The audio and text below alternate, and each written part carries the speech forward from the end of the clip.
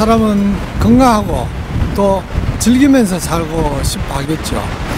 어, 제주도에서 하게 되면은 어, 몸도 어, 회복이 되고 또 제주도에 뭐 여러 구경거리를 또 즐길 수도 있어서 제주도에서 힐링 스테이를 하게 되었습니다. 어, 힐링 스테이는 어디에서 했건 어, 힐링 스테이 그 어, 시기 원칙대로 어, 하면은 건강해집니다. 물론 앓던 병이 낫고요. 훨씬 더 이 활력이 넘치고 어, 삶의 질이 올라갑니다. 그런데 이 제주도는 어, 참이 유명한 그런 관광지죠. 볼거리들이 많습니다. 보통 제주도에 어, 일부러 관광을 하기 위해서 어, 오게 되는데 오면은 대부분 뭐 좀 유명하다는 그런 곳을 어, 관광을 하고 또 어, 맛있는 걸 먹고 가고 이렇게 합니다. 그렇게 하면 제주도의 겉모습은 볼 수 있지만 속모습은 모르죠.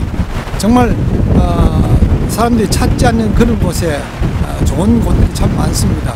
그 힐링 어, 스테이는 어, 그런 사람들이 잘 찾지 않는 그러나 훨씬 더 어, 오랫동안 어, 기억에 남는 그러면서도 운동이 되는 그런 곳을 찾아갑니다. 올레길을 많이 걷고요. 또 오름을 많이 어, 오르고 그렇게 합니다. 그렇게 하면은 어, 제주도에 여러 차례 와봤지만은 아 이런 곳은 처음이다 하는 어, 그런 얘기들을 하는 분이 많고 참 좋아합니다.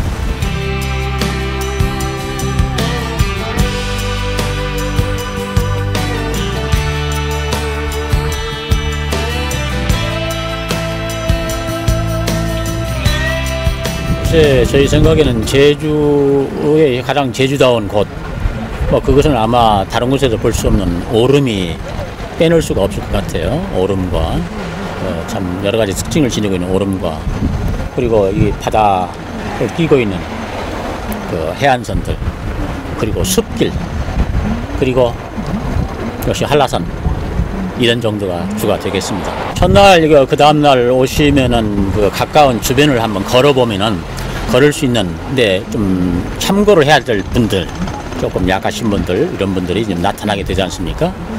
이 보시면 알다시피 한 3, 4일만 지나도 사람들이 이거 걸어다니는 그 활동 능력이 굉장히 향상됩니다. 그리고 그래서 거기에 맞춰서 조금 이 걷는 길도 조금 길어지기도 하고 약간 언덕배기가 포함되는 난이도라고 할까? 약간 그걸 강화시키고 그러다가 중반에 이후에 가면 뭐 10km 이상 걷는데 전혀 문제가 없는 대부분이 그렇습니다. 이게 아니 이런 데 오다 보면은 마음이 급해가지고 막 성급하게 막 허겁지겁 가는데 바쁜 그러기가 좀 쉽습니다만은 천천히 걷는 것 자체가 굉장히 중요하다 생각하고 운동에 좀 신경 쓰지 말고 운동은 뭐 천천히 가나 빨리 가나 다 되는 것이고 이 마음의 운동도 좀 정신의 운동도 좀 하시라고 천천히 가시고 두리번 두리번 하시면서 가시라고 권하고 싶습니다.